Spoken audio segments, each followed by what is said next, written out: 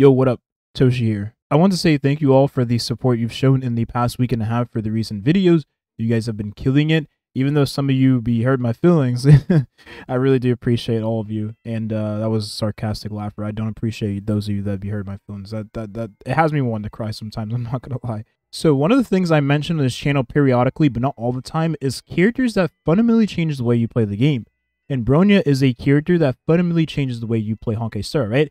And that's thanks to her elemental skill, giving an ally an additional turn. This is one of the strongest mechanics in the game because as you all know, Honkai Star is centered around taking turns because it is a turn-based game. So whenever you're giving an ally an free turn, this is going to change the tide of the battle and change the way you play the game.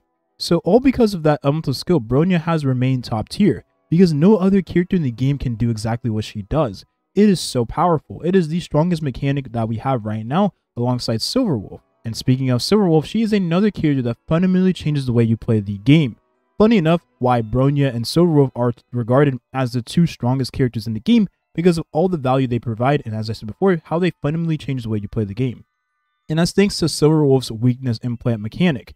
Now, we call it Bronya bias at this point because these are the only two characters that have super strong mechanics in their kit that, you know, like I said, changes the way you play Honkai Star Rail. You put a weakness on the enemy that the enemy didn't already otherwise have, and therefore you're able to break that enemy's weakness with that weakness you implanted on that enemy. So if you have a team of fire and the enemy doesn't have fire, you can inflict that weakness of fire on the enemy. You deal more damage because the enemy has lower resistances, right? And they don't take as much damage as before because you know they had no fire weakness, so they took less damage. But now they take even more because they have that weakness and then you break them for the fire break effect. That's so strong.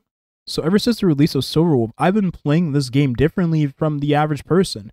I've never had to worry about who I bring in the team comp with her because she's always going to apply that element of one of my allies to the enemy, allowing me to bring whoever I want in my party because this character exists. So if you don't have a character like Bronya, you play the game much more differently than someone else because that's because Bronya has a unique playstyle and mechanics that shapes Honkai Star into a different game and a different reality for those of you that do have this character.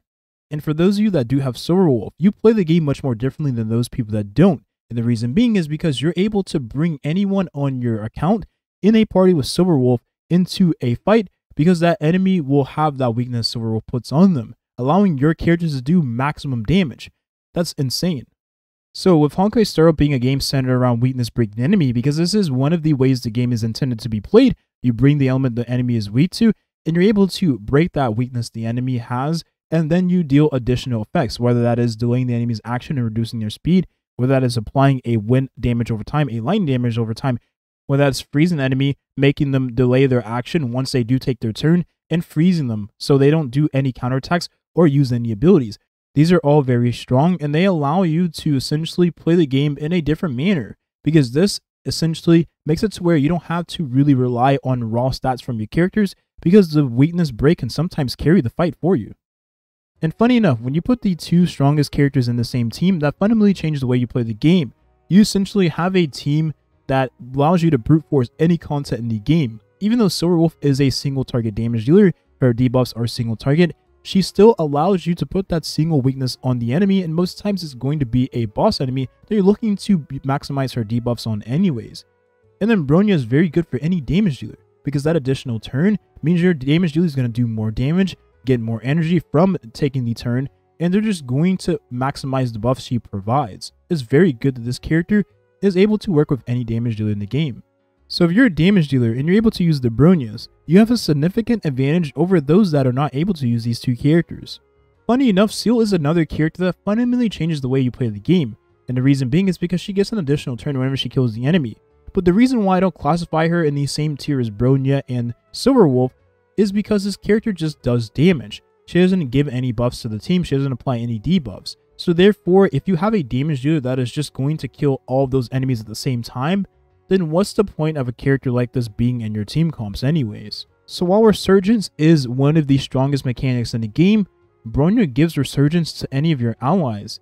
And the fact of the matter is, since Seal's damage increases by 88%, you get that for Bronya using her elemental skill on an ally. So that really doesn't make her more unique than Bronya, honestly. But again, I really do love this character. She is my favorite damage dealer. So if you noticed, all the things I brought up in terms of changing the way you play Honkai Star Rail based on different characters, well, that's gated around the rules that the game actually gives to every single character. So every character in this game has to follow those rules. But these characters ignore the rules because they force their mechanics onto the gameplay. Now, when we talk about stuff like that, there is one last thing that we have to mention because this is a mechanic that no other character as of right now has been able to bypass, or the rules of that mechanic. Skill point management has been one of the most important factors when it comes to building your teams in Honkai Star.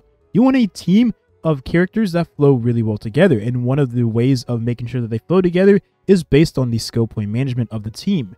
If you have a healer that is not a skill point detriment to the team, such as Luocha, who is a skill point positive character that can give skill points to the team, then he is very flexible and you're able to put him in any single team you decide to use with him. If you have a damage dealer like QQ that eats up all of your skill points, then you have to pair her with characters like Luocha that does not eat any of the skill points that she has to use. Because otherwise, if you put these two characters together, let's say QQ and a character like in the future, Huo Huo, there will be times where you're stuck having to use less skill points on this character, and that is a net DPS loss for her. And that playstyle has been solidified by the release of Daniel. He's a character that has to use 3 skill points every time he takes his turn to maximize his damage. If he does not have those 3 skill points on his turn, he doesn't have 2 stacks from his ultimate, you're going to lose a lot of damage on the character. You have damage dealers like Clara that are extremely flexible because she doesn't eat any skill points, and that is if you play her as a sub DPS or a tank hybrid character. You put her in a team with a skill point hungry damage dealer, she can act as an additional damage dealer in that team comp, but also a character that strays or takes away the aggro from that ally, making sure she takes the hits, and counterattacking dealing much more damage to the enemy. Now, funny enough, the most greedy character when it comes to skill points is able to recover a skill point after using the enhanced basic attack. This is a very rare mechanic, and going forward, this is going to matter when it comes to other characters that are also able to provide skill points for the team, which is something that is going to fundamentally change the way you play Honkai Star Rail. Because what if we come to the point where we have a character of the Harmony category that is able to provide skill points to the team to where you can use the two most greedy skill point hungry characters in the game. Because before you're not able to use these two characters together because they both need to use skill points. And well, if there has not been a skill point generator for these two to function together, then you're not able to use them. That is unless you want to suffer. However, with the release of Hanya, you can reliably use Seal and QQ together. You've been able to use them before together, but you had to be a lot more mindful of how you play these two. But now with the release of Hanya and how she generates skill points to the team, you're going to find that these two and the rotations you use with these two characters a lot more comfortable than it once was. And now considering Hanya is a 4 star, what if there is a 5 star version of Hanya that gives more skill points than Hanya does provide to the team? Then once we do receive that character, just like Silverwolf and Bronya, that character will also fundamentally change the way you play the game, because the skill point mechanic or management in this game is something that no other character is able to bypass. That would be extremely broken. Now the most we have is the game giving you ways of actually saving or conserving skill points, and Bronya Eidolon 1 is one of the best ways of saving skill points. She is able to recover a skill point with a 50% chance. Now, it isn't as reliable as QQ's Eidolon 6, but still, this is a nice way of getting that extra skill point. And then we have a light cone that is able to provide a skill point to the team after using your ultimate. Now, this is after two times of using your ultimate, but still, being able to provide a skill point is something that is very rare. So this bypasses the rules of the skill point management in Honkai Star Rail. Now, what if with the release of Hanya, you're able to use two Brilliant Light Cones on both your Ting Yun and your Hanya, and then your Huo Huo will be able to provide energy to the team, but even though she is a skill point neutral character, you can still use any damage dealer in this team party and get value.